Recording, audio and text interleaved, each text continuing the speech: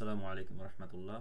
Um, so I'm going to show um, how to use this permanent um, year calendar which I released um, in the last update.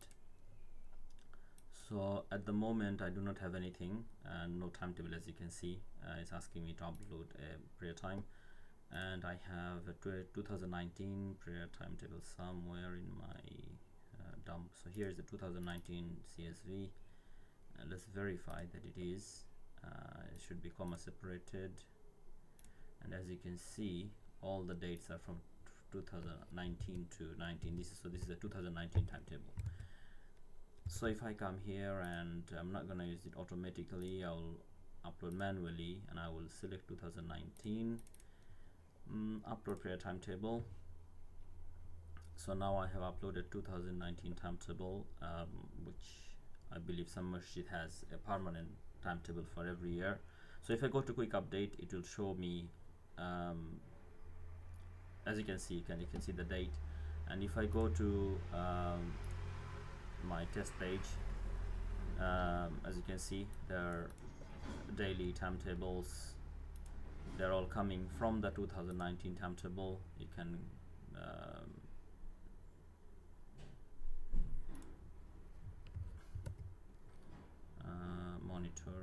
um, monitor uh, that's the prayer time and that's the monthly timetable.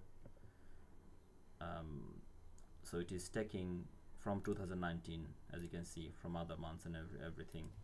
Um, just to over confirm if I go to database um, so if I look for all the timetables I'll go 2019 and I'm just to make sure that I don't have 2020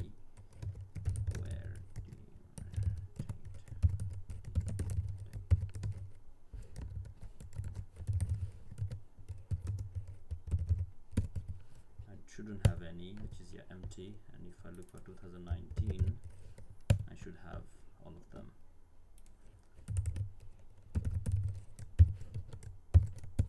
So as you can see I've got 365 days for 2019 and the timetables are coming from 2019 I hope that makes sense and that helps even though it shows the time um, date for today um, and it will it will because it's going to take the time from last year. Um, so I hope it was beneficial and let me know if there's an issue or send me your CSV so I can test. Yeah assalamu alaikum